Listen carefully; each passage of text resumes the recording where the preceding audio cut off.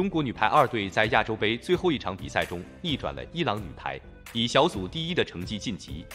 就这场比赛来看，副攻王文涵和替补上场的王艺凡值得鼓励，首发二传徐小婷和首发主攻吴梦洁则需要加油。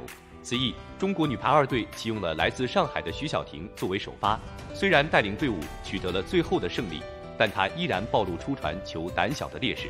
二十一比二十二赛季联赛中，上海女排之所以半决赛不敌江苏，和徐晓婷胆小有着很大的关系。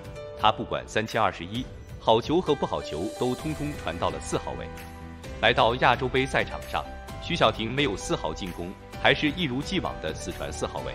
即便是主帅匡琦在第三局和第四局大比分领先，要求他多传二号位进攻时，一旦出现不好球，仍然会把球机械式的往四号位调整。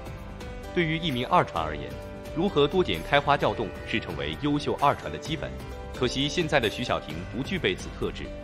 首发出战的吴梦洁，则是在第一局局末被王艺凡换下。之所以打伊朗会被替补，和他自身失误偏多有关。面对伊朗的拦网。吴梦洁开局阶段出现了许多失误，比如两次扣球失误，一次拦网触网，一次发球失误，再加上一传也接连出现问题，所以主帅只能用王一凡换下吴梦洁。虽说吴梦洁在进攻端有着不俗的表现，可以频频抄手进攻，但过多的失误让他成为了负分球员。郎平曾说过，一名球员不能光看前排扣球得了几分，也要看后排失误送了几分，一起来算总账。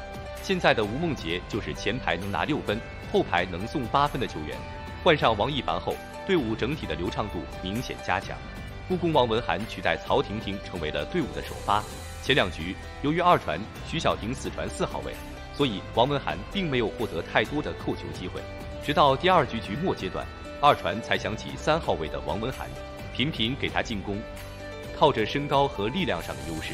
王文涵打出了十三扣十二中的绝佳扣球成功率。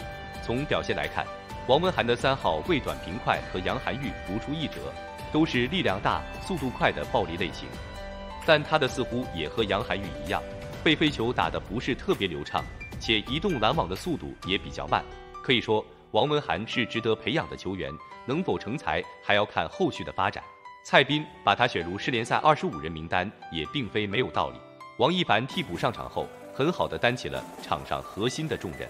他全场比赛独拿二十五分，其中第三局就有十分入账。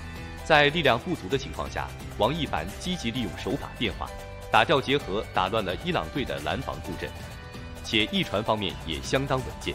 当然，王一凡扣球得分多，也和徐小婷爱传四号位有关。今天的节目就到这，如果您喜欢我们的节目，欢迎点击订阅收藏。